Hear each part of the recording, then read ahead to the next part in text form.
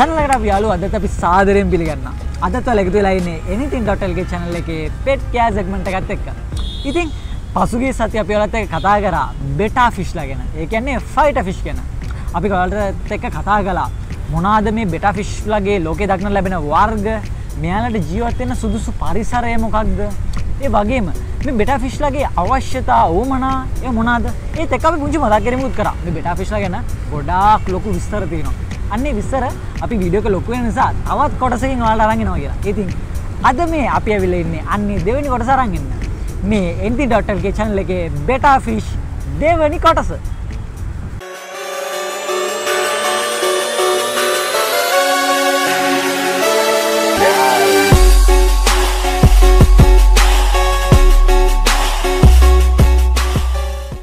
ඉතින් ඔයාලා අපේ වීඩියෝස් බලන්න කැමති නම් පල්ලෙහා තියෙන රතු පාට සබස්ක්‍රයිබ් බටන් එකත් ඔබන්න. ඒ වගේම අපේ වීඩියෝ එකක් දාපු ගමන් මුලින්ම නොටිෆිකේෂන් එක මගින් දැනගන්න. ඊට හැපැදින බෙල් අයිකන් එකත් ඔබන්න. අමතක කරන්න එපා. හරි. මේ බෙටා ෆිෂ් කියන්නේ ටිකක් බුද්ධිමත් මාළුවෙක්.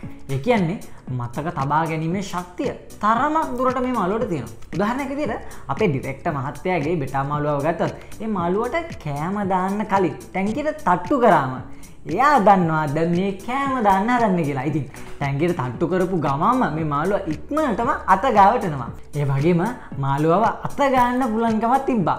දැන් මේවා දකින්නේ මෙන්න මේ මාළුව හැබැයි දැන්නම් මෙයා අපි ළඟ නෑ ඉතින් ඒ විදිහට ඔයාලට පොඩි පොඩි ක්‍රියාකාරකම් සඳහා මෙයාව පුරුදු කරගන්න පුළුවන්.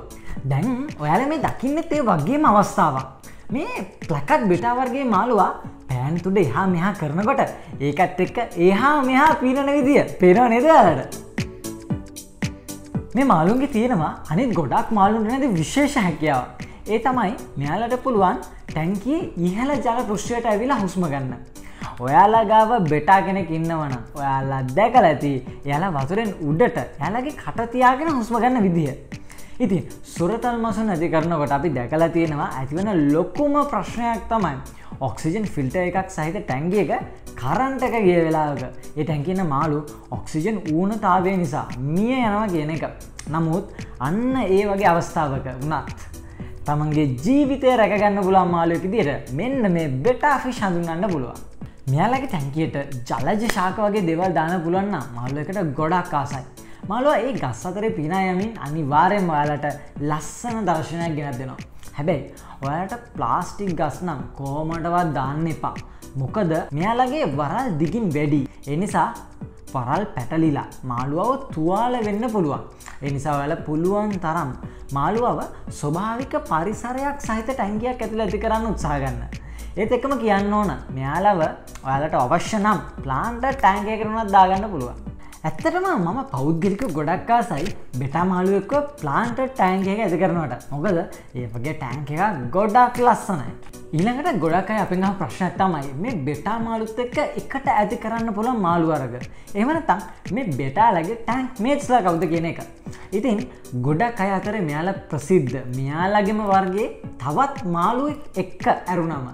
අනිත් ඕන මාළුව එක ඇතිකරන්න පුළුවන් කියලා. නමුත් අපිට නම් පුළුවන් කියන මාළුව එක්ක බෙටාව එකට දැම්මම පොඩි පොඩි ගැටලෝගේ ඇති වුණා. මොකද ඇත්තටම මේ බෙටා ෆිෂ් කියන්නේ ආක්‍රමණ ශීලී මාළුවෙක්. මූලික වශයෙන් ටෙට්‍රා මාළුවර්ග බෙටා මාළු සමඟ එකට ඇති කරන්න පුළුවන්. දෙකොල්ලන්ගෙන් කාටවත් කරදර වෙන අවස්ථා ගොඩක් අඩුයි. ඊළඟට ප්ලේකෝ වර්ග ගැන වලට මතකද අපි ඇල්ගේ ඊට ගැන කතා කර වීඩියක සඳහන් වුණා. මෙන්න ප්ලේකෝල එක්කත් මෙයාල එකට ඇති කරන්න පුළුවන්. ඊළඟට ගොලු බෙල්ලන් වර්ග එක්ක. ඒකිවේ මිස්රිස්නේල්ස් ඇපල් ගොලු බෙල්ලන්න එක වගේ මේ බෙටාමාලු ඇති කරන්න පුළුවන්. ඊළඟට ගෝස් ශ්‍රින්ක් වගේ ඉස්සන් වර්ග එක්ක කෝරි කැට්ෆිෂ් හාලකුයින් රාස්බෝන කෝහි ලෝච් වගේ මාළුත් එක්කත් මෙන්න මේ බෙටා මාලුන්න එකට ඇති කරන්න පුළුවන්. ඊළඟට මෙයාලව ගප්පි එක් එකට ඇති කරන්න පුළුවන් කියලා ගොඩක් තැන්වල සඳහන් වනවා. හැබැයි අපේ ඩිරෙක්ට මහත්තයගේ බෙටාලා ගප්පි එක්ක දැම්මට පස්සේ මුල් සතියනම් ගැටලොක් දෙබුණෙන් නෑ. නමුත් ඊට පස්සේ ගප්පි පෙටවන්ගේ ප්‍රමාණය අඩු වෙන්න ගත්තා. ඒ වගේම ගපින්ගේ වරල් ඉරිල්ල තියෙන අපිට දක්ගන්නට ලැබුණා. ඉතින් ඒ නිසා අපිට වග කීමෙන්නම් කියන්න බැහැ. මේ වර්ග දෙක එකට ඇති කරන්න පුළුවන් කියලා. ඊළඟට මොලි එකක්. එකට ඇති කරන්න පුලන් කියලා ගොඩක් තැන්වල සඳහන් වෙන නිසා අපි බෙටාව මොලි එකක් දාලා වෙලවා බෙටාව මොලි එක ටැන්ගෙට දාලා වැඩි වෙලාවක් යන්න කලින් මොලි මාලු බෙටාගේ වරල් වලින් ඇදලා බෙටාට කොටන් උත්සා කර. ඉතින් අපික්මනින්ම නැවත බෙටාව ඉවත් කරපු නිසා අපිට මේ අවස්ථාව වීඩියෝ කරගන්න අවස්ථාවක් ලැබුණ නෑ ඉතින් මං හිතන්නේ ඒ ජාති දෙකත් ගැලපෙන්නේ නෑ කියලා. අපි දන්නේ නෑ ගොඩක් තැන්වල සඳහන් වනත් එකට ඇති කරන්න පුළුවන් කියලා අපිට වග කීමෙන් කියන්න අමාරුයි මේ වර්ග දෙකත් එකට ඇති කරන්න පුළුවන්කම තියෙනවා කියලා සමස්තයක් වශයෙන් ගත්තම ප්‍රශ්නයට උත්තරේ සංකීර්ණයි බෙටාමාලු ගොඩක්ම තනියෙන් ඉන්න කොට සමකාමි වගේම නිශ්ශබ්ද පරිසරයකට ආස කරන මාළුවෙක්. ඇත්තරම මොවුන් ටෑන්ක් මේස බලාපොරොත්තු වෙන්නේ නැතිව තනිව ජීවතීමට කැමති පිරිසා. ඒවගේම අපේ බෙටා ෆිෂ් ගප්පි මාලුන්ට කරදර කරන්න උත්සා කලාට හැම බෙටා මාළුවෙක්ම ඒවගේ නොවෙන්නත් පුළුවන් එනිසා වෙන්න ඇති බෙටාගේ ටෑන්ක් මේට් ස්ලයිස්ටුවේ ගප්පි මාළුවත් ඉන්නේ. ඉතින් මෙන්න මේ වගේ සීමිත පිරිසක් තමයි බෙටා එක්ක එකට ඇති කරන්න පුළුවන් මාළු විශේෂ වෙන්නේ. හරි අපි දැම් යාලගේ අභිජනනය ගැන කතා කරන්න හදන්නේ. ඉතින් ඒ සඳහා මුලින්ම ගෑනු සතෙක්සා පිරිම් සතෙක් කොමද අපි හඳුනගන්න. මොනවද ශරීර ලක්ෂණ කියල බලව. මුලින්ම අපි බෙටා ෆිෂ් පිරිම් සතෙක් ගැන කතා කළොත්. පෘෂ්ටිය වරල තරමක් පිට්ටු පසට වෙන්න තමයි පෙරලා තියෙන්නේ. ඒ වගේම පෘෂ්ටිය වරල සෙන්ටිමීටර් දෙකත් තුනත් අතර දිගකට වර්ධනය වෙනවා. ගුද වරල සෙන්ටිමිට දෙකහ මාරක් පමණ දිගට වර්ධනය වෙනවා. ලයිවරල් යුගලය පහලට සිටින සේතම එමයාලාගේ පිහිටන්නේ. පෞච්ච වරල රවම කාකාරයට හෝ රවුම් භාගයක් ආකාරයට සෙන්ටිමිට තුනක් පමණ විශාල්ල වර්ධනය වෙනවා. ඉතින් වැඩ්ඩුණු පිරිමිසතෙක්ගේ මුළු දික සෙන්ටිමිට හතත් අටත් අතර ප්‍රමාණයක් ගන්න. දැන් අපි බලමු ගැහැනු සතයෝගේ ශරිලක්ෂණ. බැලූ බැල්මට පිරිමිසතර වැඩ ප්‍රමාණයෙන් කුඩා මුන් සෙන්ටිමිට පහක උපරිම වර්ධනය පෙන්නුම් කරනවා. පරල් සියල්ලම පිරිමිසතාගේ වගේ විශාලය වර්ධනය වෙන්න නෑ. ඒවා සෙන්ටිමිට එකත් එක මාරක් වගේ තමයි වර්ධනය වෙන්නේ. බඩ ප්‍රදේශය පිරිමිසතර වඩා රවුම් ස්භාවයක් ගන්න. ඒ වගේම ලය වරල් දෙකත් පිරිවිසතර වඩා කුඩාවට තම වර්ධනය වෙන්නේ. ඒවගේම සමස්තයක් වශයෙන් ගත්තම පිරිමත්සාගේ ශරීර වරණය ගැහැනු මත්සයට වඩා දීප්තිමත් භාවයෙන් වැඩි. ඉතින් මේ කරුණු වලින් පාලට ගැහැන්නු පිරිමි සතුන් වෙන් කරලා හඳුරගන්න පුළුවන්. අනිවාරෙන්ම අභිජනයට මාළු දෙන්නේ තොරගන්න කොට. වරල් හොඳට වර්ධනය උන්න නීරෝගි මාළු දෙන්න තොරගන්න මතක තියාගන්න. දැඟ බලමු අභිජනන ටැන්ගිය සාදාගන්න ආකාරය. අභිජනයට සුදුසු ටැන්ගයක් පලල අඩියක් දිගාඩි දෙකක් සහ උස්ස අඩියක ටැන්කයක් ප්‍රමාණවත් වෙනවා. මසුන් විකුණන් ඉන්න කඩවල්වල තියෙනවාගේ පොඩි ජෑම් බෝතල් හරි පොඩි ටැන්ක හැරි නම් මේ ක්‍රියාවලියට සුදුසුවන්නේ නෑ. මේ ඉඩකඩ කියන දේත් බිත්තරවලින් පටව් එලියට ආවට පස්සේ පැටවුන් මියයාම අවම කරගන්න ගොඩක් දුරට බලපානවා. ඉතින් මේ විදිහට ටැන්කි අරගෙන ටැන්කි පතුලට ගල් වගේ දේව දානනතම් ගොඩක් හොඳයි. මොකද බිත්තර දැම්මට පස්සේ බිත්තර ගල්ලස්සගෙන් රැදුනොත් ඒව නරක් වෙන්නට තියෙනවා. ඒ නිසා අභිජන්න ටැන්ගේ පතුල්ල මුකුත් නොදයින්නවනම් ගොඩක් හොඳයි. ඊළඟට මේ ටැන්කියට පොඩි ජලජ පැලට එකතු කරන්න පුළන්නම් ගොඩක් හොඳයි. මම ඒ ජල්ජ පලට එකතු කරන එක අවශ්‍යතාවය මොකක්ද කියලා ඉස්සරහට පැහැදිලි කරන්න. ඉතින් මේ විදිහට ටැන්කේ සුදානම් කරගත්තර පස්සේ පිරිමි සතාව මේ ටැන්කයට දාන්න වලට පුළුවන්. පිරිමි සතාව දාලා අනිවාර්යම දින කීපයක් මාළුව ටැන්ගිට හුරුවෙන් ඉඩාරන්න ඕන. දවස් තුනක් විතර මේ සතා ප්‍රමාණවත්. මත්සන් බෝ කරන අයනම් ගොඩක් වෙලාවට පිරිමිමාලුව ටැන්ගෙට දාලා පැය කීපයකින්ම අභිජන්න ක්‍රියාවලට ගැනුමත්සයවත් හඳුනල දෙනවා. අපි නම් මේක අනුමත කරන්නේ නෑ. ෆයිට මාලුව කියල කියන්නේ පෙන කූඩු සාධන මත්සන් ගැන්ට ඇත්තන මාළුවක්. පෙන කූඩුවක් කියල කියන්නේ පිරිමි මාළුවා විසින් කටින් පිට කරන පෙන යොදාගෙන ටැන්ගේ ජල පෘෂ්ටේ බිත්තර තැන්පත් කිරීම සඳහා හදන වියහයක්. දැන් වලට මේ තිරේ දිස්වෙන් රූපරාණුවලින් දිස්වෙන්නේ. එම පෙන කූඩුව. මේ පෙනකූඩු සකස් කිරීමට ඔයාලට වතුරේ මතු පිටට පොලිතින් කැබැල්ලක් හරි ඒ වගේ සුදුසු පාවෙන උපස්තරයක් දාන පුළුවන්නම් ගොඩක් මේ පෙනබුබුලු බිඳෙන්නේ නැතුව ආරක්ෂා වෙනවා. මීට අමතරව ඔයාලට ටැන්කියට වියලි කොට්ටම්බ කොළ දාලා තියන්න පුළුවන්නම් එක ගොඩක් හොඳයි. මේ කොට්ටම්බ කොළ ඔයාල ටැන්කෙට එකතු කරන්න ඕන ප්‍රමාණයක් තියෙනවා. මේ බෙටාලගේ අපි හදාගත් අභජන ටැන්ගෙට ගැලපෙන කොට්ටම්බ කොළ ප්‍රමාණය ගැන මං කියන්න. අපි හදාගත්ත ටැන්ගේ දීට ප්‍රමාණය වෙන්නේ දීට පනස් හයක්. ඉතින් ඒ සඳහා දිගංගල් පහට වැඩි වියලි කොට්ටම්බ කොළ තුනක් මේ වගේ ටැංගියකට ප්‍රමාණවත් වෙනවා. විශේෂෙන්ම කියන්න ඕන මේ කොට්ටම්බ කොළ වෙලා ගන්නකොට ඉරුණු නැති කොට්ටම්බ කොළ ගන්න ඒ වගේම ටැංගියට දාන්න කලින් අනිවාරෙන්ම උන්නුවතුරේ විනාඩි තුනත් පහක් අතර වගේ කෙටි කාලය තම්බා ගන්න ඕන. ඒ වගේම කොලේ ඉරෙන්නේ නැතිවෙන්න ටැංගකට දාන්න මත්තක තියාගන්න. තැන් ගොඩක් අයට ප්‍රශ්නයක් වෙන්න ඇති ඇයි මේ කොට්ටම්බ කොළ දාන්න කියලා. මං කියන්න වියලි කොට්ටම්බවල අඩංගු සංගටක බැක්ටිරියාවලට සහ පුස් වගේ දිලීරවලට එරෙහිව ප්‍රතිජීවකයක් ලෙස ක්‍රියා කරනවා ඉතින් අන්න ඒකයි අපි මේ වියලි කොට්ටම්බ කොල අභිජනන ටැන්ගෙට එකතු කිරීම වැදගත්වෙන්න. බිත්තර දෙම්මට පස්ස කාලයේදී ඒ වගේම බිත්තරනින් පැට එලියට ආවට පස්සෙත්. ජලය ගුණාත්මක භාවය කියන එක ගොඩක්ම වැදගත් දෙයක්. මොකද ගොඩක්ම පැටවුන් මිය යන්න මෙන්න මේ ජලය ගුණාත්මය භාවය නැතිවීම කියලා අපි හොයාගත්තා. ගොඩක් අයගේ වැරදි මතයක් තමයි මේ පොට්ටම්බොකල ටැන්කියට එකතු කිරීම මගින් ජලයේ පීච්චගේ පාලනය වෙනවා කියන එක. ඇත්තට මේකන මේ සිද්ධ වෙන්නේ. ජලයේ පීච්චගේ යම් කිසි මට්ටමකින් අඩුවීමයි ඇත්තටම සිද්ධ වෙන්නේ. ඊට පස්සේ මේ අභිජන ටැන්ගියට ෆිල්ට එකක් දාන්න නැත්තම් ගොඩක් හොඳයි මොකද ෆිල්ට එක ප්‍රශර එකට මේ පෙන කූඩුව විනාශ වෙන්න පුළුවන් නිසා. හරි ඔන්න විදිහට තමයි අභිජනන ටැන්කිය සකස් වෙන්න ඕන. කලින් සතිය වීඩියක බැලුවන අපි ඒකෙති කතා කලා මේ වර්ගේ පිරිමිමාලු දෙන්නෙක් නම් කොහොමටවත් එකට දාන්න දෑ කියලා. සා ගෑනුමත්සෙක් සහ පිරිමිමත්සෙක් එක සැරෙන් එකට දැම්මොත් ඒක නොවුන් දෙදනාම කොටාගන්න ඉඩ තියෙනවා කියලා. ඉතින් අභිජනනය සඳහා පී ගෑනු සතෙක් සහ පිරිම් සතෙක් එකට දාන්න අවශ්‍ය නිසා මෙතනද අපිට අනිවාර්යම ප්‍රශ්නයක් කෙනවනේ දැන් අපි කතාගන්න යන්නේ ඒ ගැන මේ සඳහා තියෙනවා පොඩි ක්‍රියා පිළිවෙලා අපි දැම පිරිමි බෙටා ෆිෂ් ටැන්ගේට දාලා දවස් තුනක් විතරගතුනාට පස්සේ ගැහනුමාලුවව පිරිමි බෙටා ෆිෂ්ට පේන්න සලස්සන්න ඕන. මේ සඳහා වීදුරු හරි ප්ලාසික් හරි බෝතලයක් වගේ විනිවිධ පේන දෙයක්. ඇතුළට ගැන්සතව දාලා පිරිමි සතයින්න ටැන්කේ ඇතුළට දාලා තියන්නත් ඔයාලට පුළුවන්. එහෙම නැත්තා ගැනු සතා ඉන්න විනිවිධ පෙනෙන භාජනය පිරිමි සතා ඉන්න ටැන්ගේ ගායම තියලා පිරිමි සතාට පෙනෙන්න සලස්සන්නත් පුළුවන්. මෙන්න මේ අවස්ථාවේදී පිරිමි සතාට ගෑනු සත්වයාට ලංවෙන්න ඉඩක් නොලැබෙන විදිහට අනිවාර්යම තියන්න ඕන. මොකද පිරිමි සතාට ගෑනු සතාව හඳුනාගන්න බැරිවුණක් අනිවාර්යම මෙයාලා කොටා ගන්නට තියෙනවා. ඉතින් මේ විදිහට පිරිමි සතාට ගෑනු සතාව පේන්ට සහ හඳුනා ගන්න අපි යම්කිසි කාලයක් ලබා දෙන්න ඕන මේ සඳහා ඇය කිහිපයක සිට දවසක් දක්වා කාලයක් ඔයාට ලබා දෙන්න පුළුවන්. පැ කිහිපයක් ගත වෙන කොට පිරිමි සතා විසින්. අපි ටැන්කට දාල තිබ උපස්තරේ පෙනකු උඩුවක් සාධන විදිිය වාලට දැක්ගන්න පුළා ඒ වගේම ගැහන් සතාගේ බඩ ප්‍රදේශයේ යම්කිසි පිරුණු ස්වභාවයක් වාලට දකිට පුළුවන්. ඊතින් ඒකෙන් අපට තේරුම් ගන්න පුළන් මත්සයන් දෙදෙනම අභිචනන ක්‍රියාවලට සූදානම් කියන එක. ඊට පස් අපිට පුළුවන් ගැනු සතාව අපි දාලා තිබ භාජනයෙන් ඉවත් කරලා පිරිමි සත්වයන්න ටැන්ගෙට දාන්න.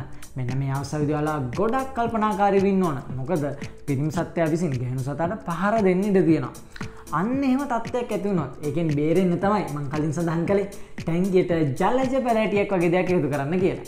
එතකොට ගැනු සතට හැඟෙන්න්න පොඩි අවස්ථාවක් ලැබෙන නිසා. සාමාන්‍යයෙන් නම් මෙයාලා මේ අවසාහිතය ගොඩක්ම කලහකාරී වෙන්නේ නෑ. නමුත් එහෙම වෙන්නත් යම්කිසි ඉඩක් තියෙනවා. කොහොමුණත් පිරිමි සතා දිගින් දිගටම ගෑනු සතාට කරදර කොළොත් අපිට සිද්ධ වෙනවා ගෑනු සතාව ටැන්කින් ඉවත් කරන්න. ඉවත් කරලා නැවත මුලයින්දලා ක්‍රියාවලිය ආරම්භ කරන්න සමහරයට අපිට මේ සඳහා වෙන ගැහැනු සතෙක් පාවිච්චි කරන්න වෙන්න උනොත් පුළුව. ගැනු සතාව එකතු කරලා දෙන්න හොඳින් හිටියොත් වාට දැක්ගන්න පුළුවන් ගැනු සතා පෙන කූඩුව පරීක්ෂා කරලා බිත්තර දැනට සූදානම් වෙන. මේ අවස්ථාවේදී. සමහර වෙලාවට පිරිමිසතා ගැනු සතාව පන්නගෙන යන්න වුණ උත්සා කරන්න පුළුවන්. ඒක සාමාන්‍ය දෙයක්. ඉතින් ගැන් සතාව ටැන්කෙර දැමට පස්සේ පිරිමි සතාගේ දක්නට පුලන් විශේෂම ලක්ෂණයක් තමයි තමන්ගේ වරල් පුම්බගෙන ඉතාම ලස්සනට ඉන්න උත්සා කරන්න ඒකෙන් පිරිමි බෙටාෆිෂ් උත්සා කරන්නේ ගැහනු සත්‍යාව ආකර්ශණය කරගන්න. ඉතින් මේ දේනම් එම නොවෙන අවස්ථාව අපට සමාර වෙලාට දක්නට ලැබෙන. ඊට පස්සේ පිරිමි සතා විසින් ගැනු සතාගේ බඩ ප්‍රදේශය වටේ ඇතිලා ගැනු සතාගේ බඩ තෙරපීමක් සිදු කරනවා ඔයාට දකින්න පුළුවන් අන්න එතකොට එලියට එන බිත්තර පිරිම් සත්‍යය විසින් තමන්ගේ කටින් අරගෙන ගිහින් පෙන කූඩුවේ රන්දනවා ආඩ දකින්නට පුලා මේ බිත්තර දාන අවස්ථාවේදී යම් කිසිමද ආලෝකයක් ටැන්කිර දීල තියන්න පුළුවන්න එක ගොඩක් හොඳයි. මොකද මේ ක්‍රියාවලිය රාත්‍රී කාලයේදි සිද්ධ වනොත් එහෙම පිරිම් සත්වයට බිත්තර සොයාගන්න පහසු වෙන්න ඕන නිසයි මං එහෙම කිව්වේ. බිත්තරදීමේ ක්‍රියාවලිය අවසන් වනාට පස්සේ පිරිම් සතා නැවතත් ගැනු සතා වෙලවනවාට දකිට පුළුව. ඉතින් මෙන්න මේ පෙන කූඩුව ගාවටන කොහොමටවත් ගැනු සතාට එන්න දෙන්න පිරිමි සතා ඉඩ දෙයන්නේ නෑ මොකද බිත්තර දෙන්න අවසන්වාට පස්සේ ගැනු සත්වයා ටැන්කි අනිවාරෙන් ඉවත් කරන්න ඕන. මොකද නැත්තම් ගැනු සතා බිත්තර කන්න ඉඩ තියෙනවා. ඊට පස්සේ පැටවුන් එලියට එන කම්ම පිරිමි සතා බිත්තර ආරක්ෂා කරන විදිිය ඔයාලට දකිට පුළුවන්. මේ බිත්තර දැමීමට පස්සේ ගොඩක් ඇරතිවන ප්‍රශ්නයක් තමයි මේ බිත්තර පුස්කෑමකට එමනතන් නරක්වීමට භාජන වෙන එක කොහොමද වලක්ව ගන්න කියලා. ඇත්තටම ජලය ඇතිවැනි බැක්ටේරියාවක් නිසා තමයි මෙන්න මේ තත්ව ඇතිවෙන්නේ. ඒ සඳහා පොඩි දෙයක් අපට කරන්න පුළුවන්. මෙතලින් බ්ලූ කියන ද්‍රාවණය වාල වෙඳපලින් මිල්දිගන්න හැකියාවක් තියෙනවා. ඒක නිර්දේශිත ප්‍රමාණයට වඩා බොහොම සුළු ප්‍රමාණයක් බිත්තර සහිත ටැන්ගේ ජලයට එකතු කරන්න පුළුවන්න. අපිට මේ බිත්තර පුස්කෑමකට හෝ නරක්වීමට ඉඩ නොදී රැක ගන්න පුළුවන්. බිත්තර දැමීමෙන් දින තුනක් පමණ ගතනට ආල්ට මේ පෙනපූඩුව සහ බිත්තර පරීක්ෂා කළ බැලුවොත් ආල දකිට පුළුවන් පැටවුන් බිත්තරවලින් එලියට පැමිණෙන ආකාරය. මේ බෙටා පැටවුන් බිත්තරවලින් එලියට ඇවිල්ල දවස් හතරක් පමණ ගත වෙනකම් කිසිම පිහිනීමක් සිදුගන්නේ නෑ මේ කාලේදී පැටවුන් පෙන කූඩුවේ එල්ලිලා සිටිනවා. ඔයාලට දකිට පුළුවන් හොඳට බැලුවොත් මේ පෙනකූඩුවෙන් ගිලිහිලා වැටෙන පැටවුන්න පිරිමි සත්‍යයන් නැවතත් පෙනකූඩුවේ තබන ආකාරය සහ ඔවුන් ආරක්ෂා කරන විදිිය ඔයාලට දැකගන්න පුළුවන්. ඉතින් මේ දවස් හතර ඇතුළත මේ පැටවුන්ට ආහාර ලබාදීමට අවශ්‍ය නෑ නමුත් පිරිමි සත්වයාට එකන අපි කියන පිය සත්වයාට අහර ලබා දෙන්න ඕන ඒ අවස්සා විදිවල මතක තියාගන්න ඕන දෙයක් තමයි. අපි ටැන්කි ආහාර ඉතුරුවෙන්නේ නැති තරමට පිරිමල්ලෝට ආහාර ගැනීමට ප්‍රමාණවත් තරමට සුළු හෝෂයෙන් තමයි ආහාර ටැන්කියට දාන්න ඕන. මොකද ආහාර ද්‍රව්‍ය ටැන්කි ඉතුරුණොත් එහෙම පොතුරේ ගුණාත්මක භාවය නැති වෙලා අපි මේ ෆයිට පැටවුන් මිය යන්න ඉඩ තියෙනවා. ඉතින් දවස් හතරක් පමණ ගත වෙනකොට මේ බෙටා පැටව් ටැන්කි පිහිනන්න වඩන් ගන්න අන්න අවස්සාවේද අපිට පුළුවන් පැටවුන්ට ආහාර ලබා දෙන්න. මේ අවස්සාවේදී පැටවුන්ට ආහාරයට ගන්න පුළුවන්. ගොඩක්ම කුඩා ආහාර ද්‍රව්‍ය තමයි අපි ලබා දෙන්න ඕන. අපිට පුළුවන් මේ සඳහා බිත්තර කහමද ලබා දෙන්න. මේ බිත්තර කහමද ලබා දෙනකොට ඔයාලා බිත්තර කහමද කොටසක් පිරිසුදු රෙදි කැබැල්ල කොතලා ඒක ජලයේ දිය කර හරින්න. කිසිම වෙලාවක බිත්තර කහමද කොටස් වතුරට දාන්න එපා. අපි ආහාරතරය වතුරට එකතු කරනකොට බොහොම පරිසම් වෙන්න ඕන. මොකද මේ අවස්සවිදි පැටවුන්ගේ මියයාමී අවධානම. ගොඩක් වැඩි නිසා. ජලය ගුණත්ම භාවය නැතිවුණොත් පැටව් සියලු දෙනා වුණත් මේ යන්නට තියෙනවා. ඉතින් පැටවුන්ට පළමු ආහාරය වශයෙන් බිත්තර කහමද ඉතාම ගුණදායි ආහාරයක්. එයින් ඔවුන්ගේ ප්‍රෝටීන් අවශ්‍තාවය පව සම්පූර්ණ වෙනවා. බිත්තර කහමද පමණක් නෙමේ මේ පැටවුන්ට ලබා දෙන්න පුළුවන් තවත් ආහාරවර්ග වෙල්න්න පල මිල්දිගන්න තියෙනවා. ඔයාලට ගෙදරදීම හාගන්න පුළුවන් ගුණදායක බවිනුත් වැඩි ආහාරයක් නිසයි අපේ බිත්තර කහමද ලබා දෙන්න කියල කිවේ. ඉතින් මේ කාල්සිමාවද වාල්ට පුළුවන් පිරිමි සතාව ටැන්කින් ඉවත් කරන්න. පිරිමි සතානම් පැටවුන්න කන්නේ නෑ ගොඩක් වෙලාවට. ඒත් අපි දැකලා තියෙනවා ගොඩක්ම කලාතුරගෙන්තානේ පිරිමි සතා පැටවුන්න කැමට ගන්න. ඉතින් ඔයාට අවශ්‍යනම් මේ කාලෙදි පිරිමි සතාව ටැන්කින් ඉවත් කරන්න පුළුවන්. සති දෙකහා මාරක් තුනක් පමණ ගත වෙනකොට බෙටා පැටවුන් තරමක් ප්‍රමාණයට වර්ධනය වෙලා ඉන්න අට දකිට පුළුවන්. ඉතින් එතකොට මෙයාලට ආටීමිය ආහාරයට ගන්න පුළන්කම තියෙනවා. ඉතින් ඔයාලට මත්ස්‍යාහාර ලබා දෙන්න පුළුවන් ඒ වයසේදී. මේ විදිහට හරියට ආහාර ලබා දුන්නොත් මාසයක් පමණ ගත වෙනකොට බෙටා පැටවුන්ගේ හොඳ වර්ධනයක් සහිතව ඔයාලට දකිින්ට පුළුවන්. ඒ වගේම ඔවුන්ගේ මරණ ප්‍රමාණය ගොඩක් දුරට අවම වෙනවා. ඊට පස්සේ වලට පුළුවන් සාමාන්‍ය ප්‍රෝටීන මේ මාලු කෑම වගේම වෙදපල තියෙන වියලි පනුවන්ගෙන් සකසපු මත්ස්‍ය ආහාර වගේ දේවල් මේ බෙටා මාලුන්ට ලබා දෙන්න ඉතින් මේ විදිහට තමයි බ්‍රීඩින් ප්‍රොසෙස් එක වෙන්නේ. මෙයාලා ලොකු වෙනකොට ආයෙත්තෙනවා ඉඩකඩ කියන්න ප්‍රශ්නය. මොකද මෙයාල එකට එකට ඇන්ගියක තියන්න බැහැනේ. අන්න ඒකට විසඳුමක් විදිර තමයි ඔයාලා මේ බෙටාෆිස් ලව ජීවිත කාලෙම ජෑම් බෝතල එක හිර කරන්නේ. ඉතින් ඔයාලට මේ මාලුන්ට නියමිත වුණු ජල ප්‍රමාණය එයාලට ජීවත්වෙන්න ලබා දෙන්න බැරිනම්. ඔයාලා මෙයාලව බ්‍රීඩ් නොකරන්න. ඒක හොඳයි කියලා අපි හිතනවා. අනිවාරයම ඔයාල ඒ ගැන තව පාරක් හිතන්න ඕන. හල් අපි දැන් බෙටාෆිෂ් වැඩසටහනේ අවසාන මාතෘකාවට විලඉන්නේ ඒ තමයි බෙටා ෆිශ්ලට වැළඳෙන රෝග සහ ඒවට ප්‍රතිකාරමනාද කියන එක. බෙටාෆිෂ් වගේම ගොඩක් මාලු ලෙඩ වෙන්න බලපාන ප්‍රධානතම කරනාව තමයි චලයේ අපිරිසිදුකම. ගොඩක් වෙලාවට ඉඩකඩ ප්‍රශ්න නිසා බෙටාෆිශ්ලෝවාට ඇති කරන්නේ ගොඩක් පොඩීඩක ඉතින් ඒ ජල ප්‍රමාණය ඉතා ඉක්මනට අපිසිදු වෙනවා. මේ අපිසු ජලයේ ඇතිවන බැක්ටීරියාවක් නිසා ඩ්‍රොප්සි කියන ලෙඩරෝග ඇතිවෙනවා සහ ඒ රෝගයට බහුලව භාජනය වන මත්ස කොට්ටාශයත්තාවේ බෙටා ෆිෂ් කියන්නේ. මේ ලෙඩ සුව කරන්න බැරි වුණත් පාලනය කරන්න පුළුවන් විදිහගෙන අපි සම්පූර්ණ වැඩසටහන කලා ඔයාලට මතක ඇති. ඒ වැඩසටහන බලපු නැති අයට බලන්න අපි ලිංක එක පල්ලා ඩිස්ක්‍රපෂන් එකේ වගේම වැඩ සටන් අවසානයේ එන් කාඩ්ζොල දාන්න. ඊළඟ රෝගය විදිහට මෙයාලාගේ වරල් දීවීමේ රෝගය හඳුන්වා දෙන්න පුළුවන්. ඒක ඉංග්‍රීසින් කිව්වත් fin rot fin melt tail rot කියන නම්බරින් හඳුන්වන්නේ මෙන්න මේ රෝගයම තමයි. මේ රෝගය වැළඳීම සඳහා අපිරිසුදු චලය ඇතිවෙන බැක්ටීරයා අඩු ජල උෂ්ණත්වය මත්සය ස්ට්‍රෙස්වීම වගේම මත්සගේ දුරුවන ප්‍රතිශක්තිය කරන පද්ධතිය කියන කාරණා බලපාන. රෝග ලක්ෂණ විදිහට මාළුවගේ වරල්වල අග සුදු පාටට හැරිලා. ධාරවල ඉඳලම ෂයවිමින් වරල් කොටවීම දකිට පුළුවන්. පරල් මුල් දක්වාම මේ ෂයවීම සිද්ධ වුණොත් ඒ ආශ්‍රිත සයිල විනාශවීම නිසා නැවත වරල් වැවෙන්නෙම නැති වෙන්නත් පුළුවන්. ඒ වගේම ඒකෙන් මළුව මිය යන්න උනත් පුළුවන්. නමුත් ඊට කලින් දෙඩෙ සුව කරගත්තොත් නැවත වරල් වැවීමත් සිද්ධ වෙනවා. අනවශ්‍ය තරම් ආහාර දැමීම නියමිත වෙලාවට තැන්කේ ජලය මාරු නොකිරීම වගේ දේවල් නිසා ජලය ගුණාත්ම භාවය නැතිවීම තමයි මෙන්න මේ ලෙඩෙන් හැදෙන මූලික වෙන්නේ. ඔයාල මේ ලෙඩේ හැදිච්ච මාළුවෙක් ප්‍රතිකාර කරනවා නම් ඊට කලින් ටැන්ගේ පිරිසුදුකම ගැන නිතරම සැලකිලිවාදන්න කියලපි කියන්නේ එකයි. ප්‍රතිකාර කරන අතුරතුර ආහාරයට ගැනීමට ප්‍රමාණවත් තරමට පමණ ආහාර ලබා දෙන්නවා. කලෝරම් ෆෙනිකෝල් ඔක්සිටෙට්‍රා සයිකලින් සහ ටෙට්‍ර සයිකලින් යන ඖෂධ වර්ග මේ රෝගි සඳහා නිර්දේශ කර තිබුණත් පශු වෛද්‍ය උපදෙස් ලබාගන්න පුළුවන්නම් එක ගොඩක් හොඳයි. ඉතින් ඔන්න යාලුනේ අපි බෙටාෆිෂ් ගැන හැම දේම වගේ කතා කලා මගහැරුණු කරුණු තියෙන්න්න පුළුවන්. මොනාහරි අපට මගහැරුණු දෙයක් තියෙනවනම් අනිවාරයෙන් පල්ලහැ කමෙන් කරන්න. අපි සූදන මෙවට පිරිදු සපයන්න. කලින් සතිය වීඩියකත් අනිවාර්යම බලන්න. මොකද එක වීඩිය එකක් බල්ලා ඔයාලට බෑ. මේ බෙටා මාලු ගැන සම්පූර්ණ දැනුව ලබාගන්න ඒවගේම ඔයාලට ලේසිවෙන්න අපි එන්කාඩ්සලත් කලින් වීඩියක දාන්න. ඉස්සරහටත් ඔයාලට අපේ චැනල්ල ගත කරන්දි සිටින්න කියලා ආරාධනා කරනවා. එසඳ කරන්න තියනේ බොහොම පොඩි දෙයයි. තැම පහල්ට ගිල්ලා රතුපාට සබස්ක්‍රයිබ් බට්න කොබල ඊට හැපැති තින බෙල්ලයි කන්න ගත්ත බන්න අමත කරන්න එපා. ඔයාලගේ යාලුවටත් බන්න අපේ විඩියෝ අනි වාර්යම්ෂය කරන්න. ඔයාගලගේ යාලු එක්කෙනටන මේ ගොඩක් දෙනට කියන්න. අපේ මේ චැනල කර අප රගෙන අලුත් දෙවල්ගෙන ඒ සිසා අනි වාර්යංශය කරන්න. ඒ වගේම ඔයාලට පුළන් අපේ ෆේස්බුක් පේජ් එකත් තියෙන ඒක හර අපිත් එක කමෙන්් කරන්න මැසේජ් කරන්න. ඔයාට ෆෙස්බුක් කරා අපිත් එක්ක එකතු වෙන්න කියලත් ආරාධනා කරනවා. එහෙනම් අදට අපි ගිල්ලෙන්නම් මේ anything.lk